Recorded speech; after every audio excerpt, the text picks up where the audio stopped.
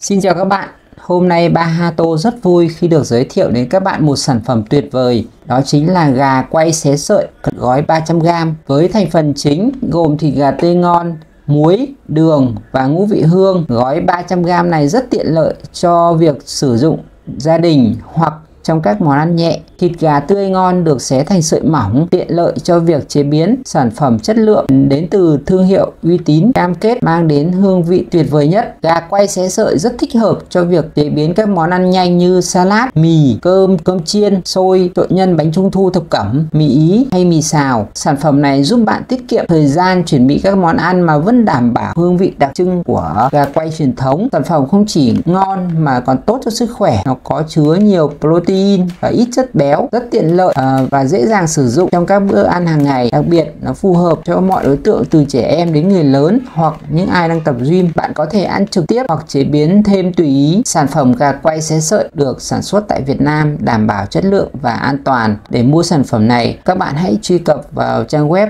bahato.vn hoặc liên hệ qua số điện thoại của bên mình là 0913 956 799 Số điện thoại này cũng có cả Zalo ạ. Giá cả và link mua hàng chi tiết thì Hòa sẽ đính kèm ở phần mô tả và phần ghim bình luận. Cảm ơn các bạn đã theo dõi video này.